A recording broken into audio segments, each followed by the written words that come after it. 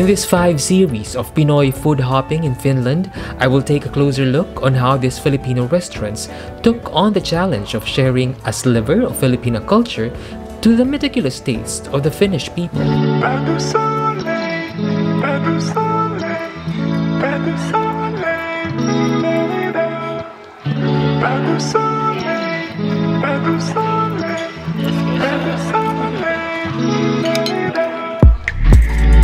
Late afternoon break here in Paisano restaurant. Calm before the storm, so to speak. As dinner time approaches, every crew fuels up before customers start pouring in. Paisano is just one of the Filipino restaurants here in Helsinki. It's the latest addition to the Pobre Filipino restaurant under the management of a group of enterprising Filipino chefs. Having the opportunity na we represent the Filipino Yes. food naman here in this part of the world of all places dito pa sa may yellow Oo, so sobrang contradictory from where we came from na mainit and the irony of it all it worked. You know yung, yung, yung tao dito nagugustuhan nila. Not just I hope it's not just because it's exotic but because it's genuinely good It all started when a group of young Filipino chefs in Helsinki cooked up a plan to create their own Filipino food pop-up store. In 2018, they thought having their own restaurant is already ripe for the picking. And they liked it. They even asked like, kung meron daw ba kami sariling restaurant. So, mm, lagi namin sinasabi, ah, coming soon, coming soon. So, mm, after naman nun, nag, ano naman kami ng mga pop-up dinners na, ano taga, sold out lahat yung tickets namin for that. it was more of like a passion project Yes, it's like nine years in the making. Oo. Mm. Parang you never thought of it talaga. Parang may conscious may effort. snippets oo Oo, oo. parang ano lang kasi talaga eh, na um, go big or go home. Okay. Na kung di natin Especially in to Finland, uh, no? kung di natin to kung di natin to matatry sa natin malaman yung limit natin.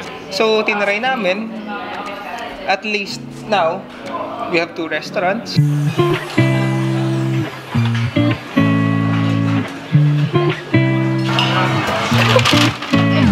Ang difference ng pobre and paisano pobre is like the casual dining. Okay. yeah na nandun yung classic Filipino food or traditional food with a twist Mhm. Not like in Paisano. Paisano, uh, medyo adventurous siya. So we stick with the flavor profile of what Filipino food tastes like. You know, the vinegar, yung gata, okay. lahat yan.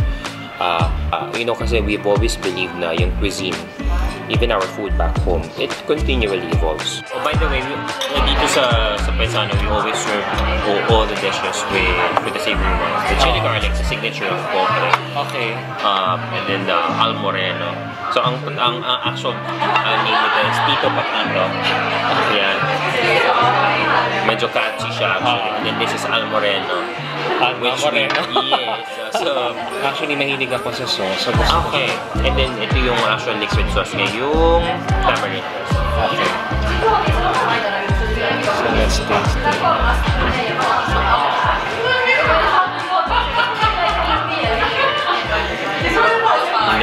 Siyang labanos, purple radish, just to have some fresh, crisp. So, normally, in the Philippines, if we eat kinilaw, masyadong maalas. Hindi? Yes, kasi babad.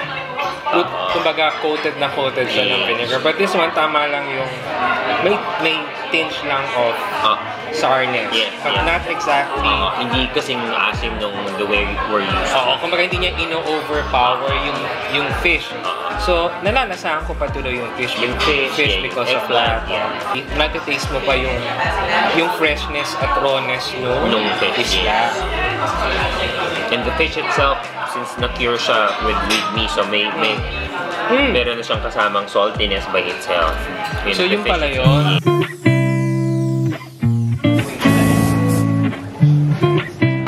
Isda tayo. Very Yes. healthy. Oo. So, ini-spread ko ulit itong Yes, no problem. Yeah. itong anong tawag mo dito?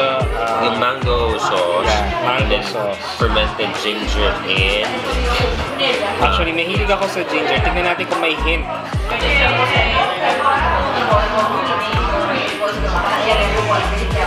Mmm!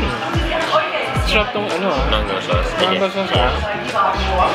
Parang sinisipa niya yung ano, dila mo. Yes, Tapos ito yung barbecue sauce. Ano ba ang feeling ko nga, it's the mango sauce is enough Yeah. But we, for the fish. yeah. Pero Uh, kung nasawa ka na, gano'n na gano'n. But it's more of like uh, we want to build those layers of Yeah. flavor na may savory. This is this has got shrimp uh, Okay. flavor in it.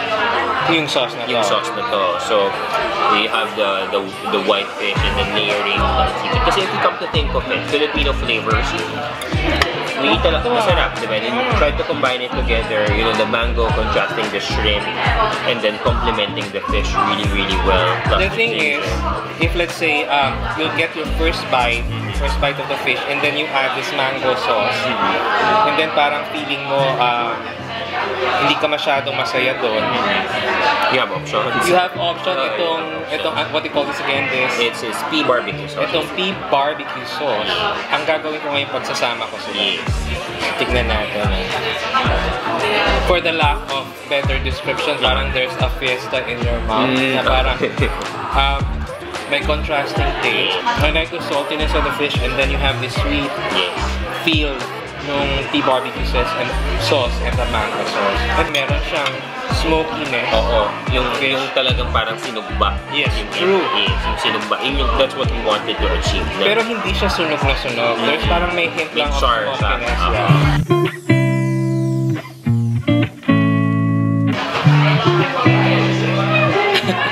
ng inggit.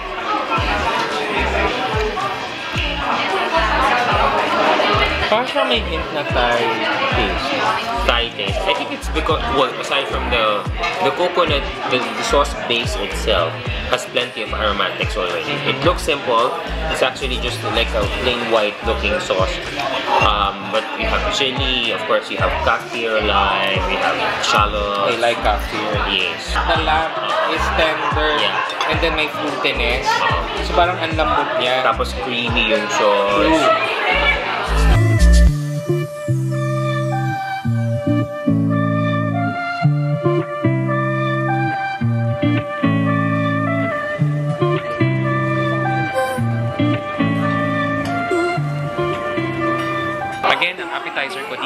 Pobre ay itong lumpiang prito na merong munggo bean at potato spring roll at yung kanilang sweet chili ay house-made. So let's see whether kumbaga it's going to be the same taste as the one we have in the Philippines.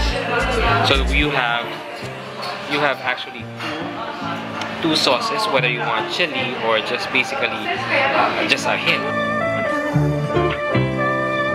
Inside this uh, lumpia roll is mongo beans and meron siyang uh, gulay inside and the chili is actually house made. So let's check it out.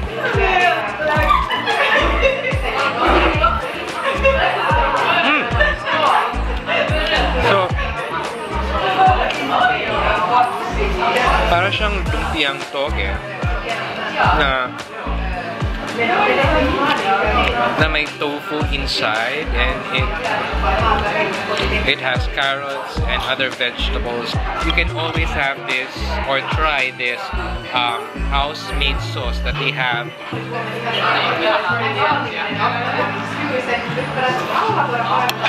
The lumpia was such a pleasant surprise.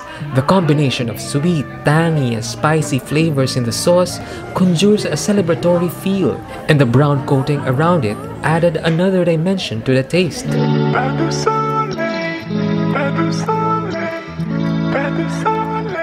So in Pobre, they have their own version of pancit. So it has green beans inside, uh, a lot of vegetables, and of course, I guess if you want to be healthy and you're vegetarian, there's tofu uh, mixed in it. So let me taste first what, I mean, how different is this going to be?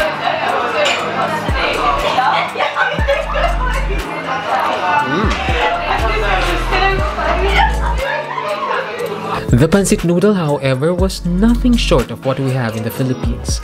But what makes it slightly different is how the tofu added a different texture.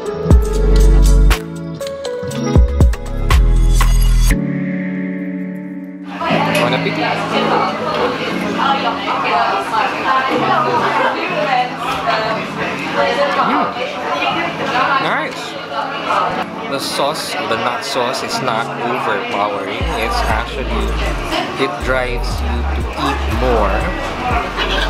As for their kare-kare, it helped that it was not served as a stew.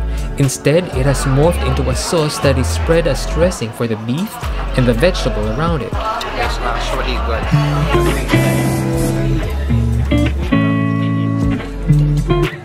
Perhaps more than their slogan of Filipino kitchen with a twist, both Paisano and Pobre restaurants are redefining what is traditionally Filipino flavor into something gastronomically global.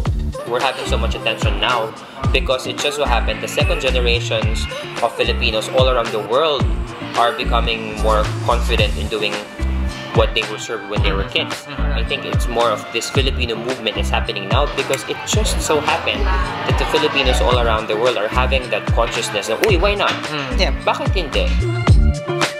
the food is simply exquisite as uh, every time I come here to eat my senses are filled with great tastes and quality food.